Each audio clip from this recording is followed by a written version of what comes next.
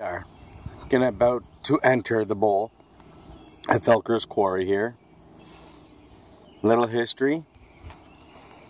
This little ring of land that's right, let's see, zoom in, kind of that little hill there you see in the center of those trees and then drops down to the cliff.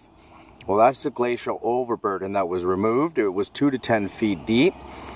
And then the actual pit itself is anywhere from 7 meters to 15 meters deep. As you can see, it's also a bit of a party hangout with a fire pit there. There's also some trenches in the area which I am unable to find at the moment, but when I do, I will bring you an update on those. Uh, in the meantime, let's try going down here.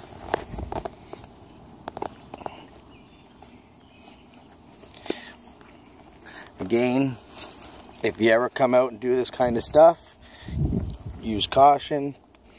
I do not recommend it. So, because it is dangerous, there are falls and steep cliffs, loose rocks.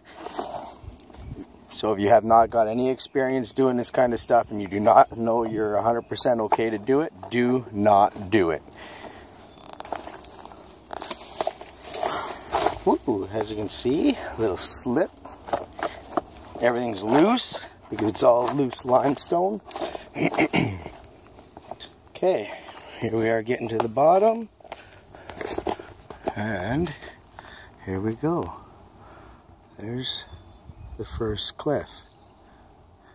Which goes over there, goes around over there, around down, spills actually over the mountain brow, kind of right about there.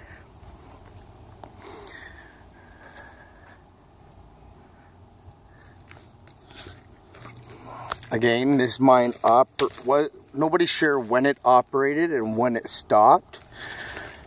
Uh, they basically know it's before records were kept. Uh, so at one point there was no trees here, nothing but machinery, lots of guys working. I guess this is the area, the southwest corner roughly, where they had actually stopped the operations.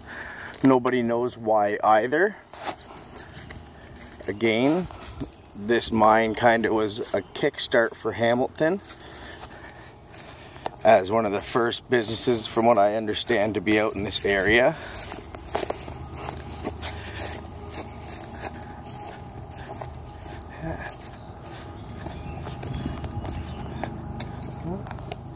Definitely somebody's hangout spot. I did notice a number of tree forts and stuff in the area. But I want to find that hole. Looks like somebody dug out by hand.